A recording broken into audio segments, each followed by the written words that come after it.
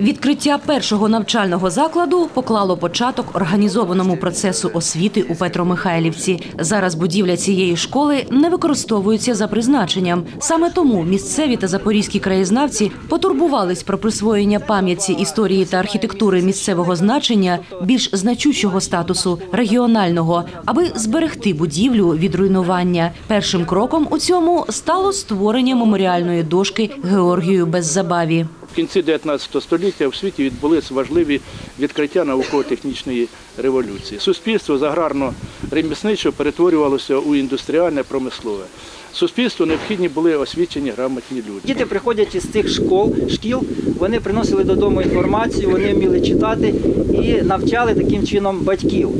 Були такі випадки, коли священники для батьків проводили екзамени. Якщо вони не знали певних молитв або, наприклад, знань е, з церковної морально е, е, ну, етики, то священник відправляв їх до школи навчатися, а після того тільки приймав їх до е, причастя. Дітям хочу сказати, що історія це дуже важливо і дуже цікаво. От ви тільки уявіть, 100 років, більше 100 років тому тут теж бігали діти, вони навчалися, можливо, не хотіли йти на уроки. І пам'ятати про це це дійсно дуже, дуже важливо.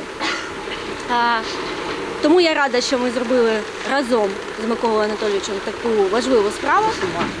І разом з усіма дякую дуже хлопцям, які допомагали. Разом із ім'ям священника Георгія Беззабави в процесі становлення освіти у селі брали участь і інші історичні особистості. Оскільки Беззабава тільки якби хвилювався за поширення освіти, але ж фінанси треба було десь віднайти. І фінанси саме були віднайдені у поміщиків Іваненків, які жертвували на будівництво цієї школи. Наприкінці 19 століття тут на Андріївській пустоші було два хутори Богуслав та Петра Михайла. Їх утворили малоземельні селяни з сусідньої Андріївки. 123 родини, котрі після скасування кріпацтва купили тут у верхів'ях Капустяної балки земельні наділи. Посприяв цьому заможний селянин Петро Михайлович Юнацький, член Олександрівської земської управи. І саме його ім'ям назвали спочатку хутір, а потім село Петромихайлівка. У 1884 році селяни села Андріївки, яке нині знаходиться затоплене під Дніпром, е, взяли у Катеринославському е, селянському банку кредит і 123 сім'ї переїхали сюди, купивши у нащадків курського губернатора Петра Семеновича Свистунова, купили 1190 десятин землі. Такі фамілії, як Солов'ї, Христенки, Повстяні, е, Довгоноженки, Гарбузи. Ось саме ці поселенці і стали основою заснування нашого села Петромихайлівки. Обидва хутори Богуслава та Петра Михайла об'єднали в одне село вже у 30-х роках минулого століття. Місцеві жителі і сьогодні не беруться сказати точно, де пролягає межа між двома хуторами. Ми знаходимося зараз на хуторі Богуслав.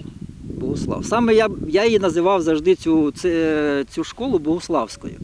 Напередодні початку Другої світової війни Богуславська школа отримала статус середньої. Її перші випускники зі шкільної парти пішли на фронт. І до 70-х років минулого століття навчальний заклад працював за призначенням. Згодом у селі збудували ще дві школи, де продовжились традиції перших подвижників. Нині у шкільному музеї зберігаються старі фотографії Олександрівських вчителів, котрі працювали у Петромихайлівці, та кількох поколінь їхніх випускників. Ольга Ларіонова. Новини на Суспільному. Запоріжжя.